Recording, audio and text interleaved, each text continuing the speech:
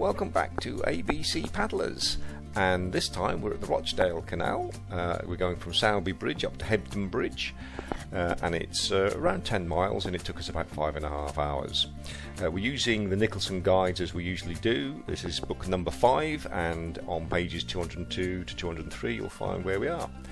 Uh, we're also using what three words to let you know our exact locations.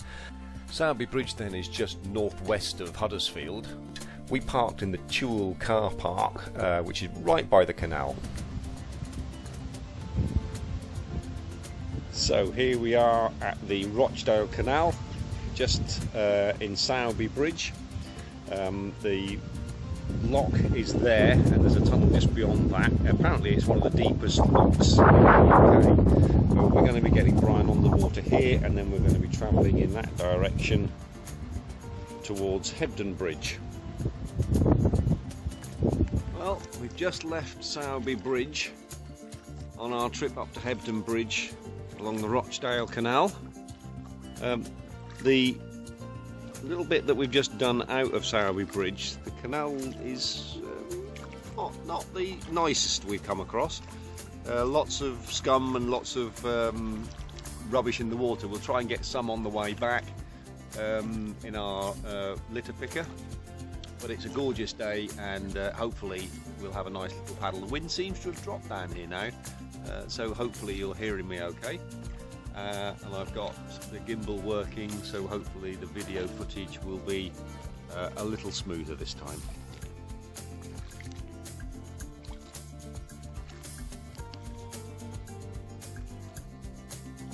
We're now approaching um, Sowerby Long Bridge uh, which we can't see light from the other side of it. So it looks to us like a tunnel at the moment but we shall see. Hopefully uh, it won't be too long and we can get out into the side.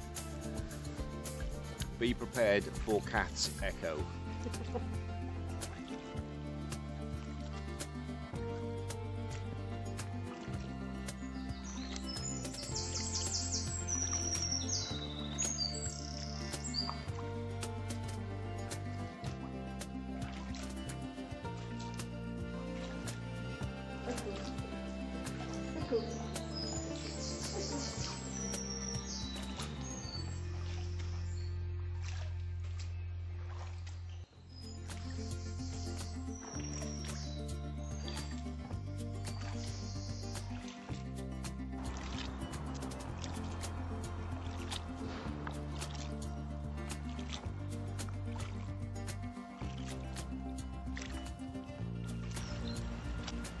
Just in there, there's a little family of ducks. You can see the mother and father there, but just in amongst those uh, waterside reeds, there's just two or three little ducklings. Unfortunately, we've frightened them in there, so I don't think you're going to get to see them. So this narrative is a bit pointless, really.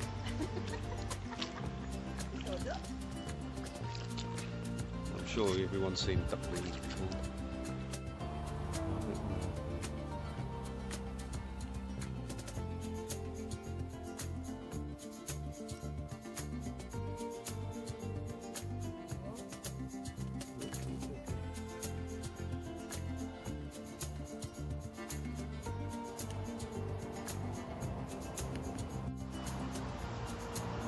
Now entering our first tunnel.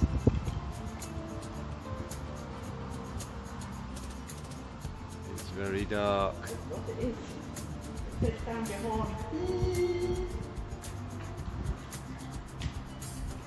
I say it's a tunnel, it's not really a tunnel, it's just a long bridge. We can see a light at the end of the tunnel, which is always good. Here we go, through the tunnel.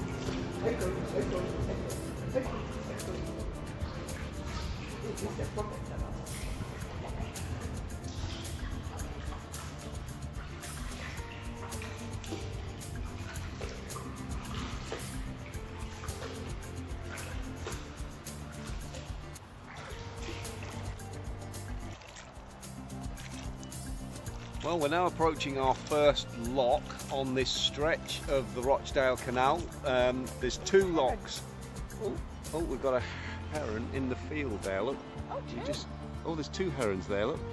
If you can see them just through there. we're just passing them and they're on the field as opposed to being in the water where herons usually are. So yeah, this is the Edward Kilner lock, the first of the two locks we think we'll be passing. We may pass a third before we actually get into Hebden Bridge, it just depends on how far we go up um, the canal in this direction. But at the moment it's a glorious day and we've had a fantastic paddle so far. So we're going to exit the lock here and then we're going to use our newly made Brian wheels to try and get us um, over the other side of the lock and back into the water. I made a little cradle for Brian to sit in to allow us to travel over longer distances without having to carry him. And this is Kath uh, working hard as usual. It wasn't my idea, it was Kath's idea to prove that you can move um, Brian on a little cradle just by yourself. Um, normally there'd be obviously two of us. It seemed to work quite well. We're now heading in towards Hebden Bridge itself, looking for somewhere to stop and have something to eat and a drink. Gorgeous views along here as we pass uh, residential areas on the banks of the canal. So we're now approaching Broad Bottom Lock and we'll disembark here, Portage Brian Rand Lock and then it's about another kilometre and a half until we get to Hebden Bridge and we'll see what we've got when we get there.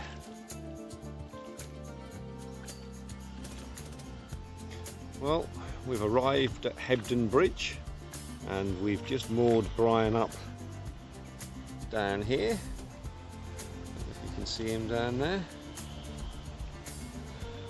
There he is. Just moored him here alongside these other boats. Now there's a, a, um, a pub we believe across the other side of the water there but then on this side there is a cafe in the park so we're just going to go and explore that and see if we can't get something to eat and a drink before we head back to Sowerby Bridge. So what's this? It's the cafe in the park. So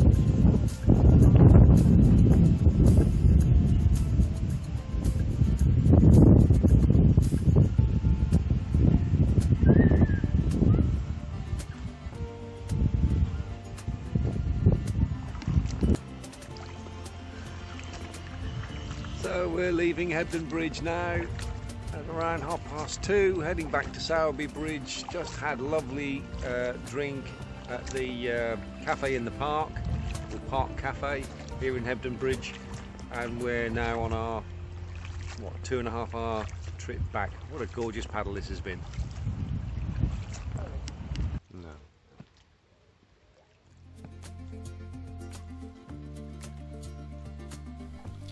There's nothing quite like paddling in the English countryside, is there? And this is certainly one been one of the nicest that we've done for a long while. Um, this is a, beautiful part of the country from Sowerby Bridge. Uh, it's a village you can explore right up to uh, Hebden Bridge, and you don't need a kayak. It's a it's a fantastic walk with the towpath uh, going the whole distance from Sowerby Bridge right up to Hebden Bridge, where you can grab yourself a, a nice drink and then take an amble back. Walking would take roughly the same time as we've done it in the kayak.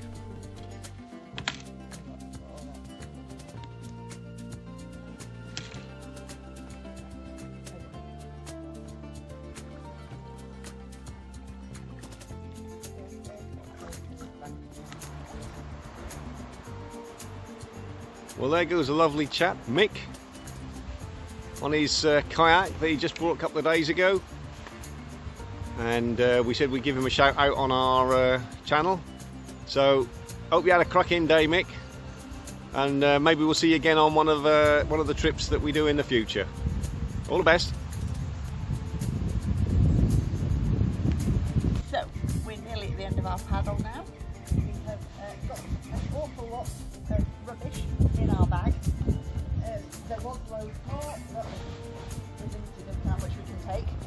Just tip if you're out on the water, invest in a little litter picker and a black bag and then we can help clean up the waterway. So it's been a fabulous paddle and now we are going to get out of Brian just up here until the next adventure. Keep paddling. paddling.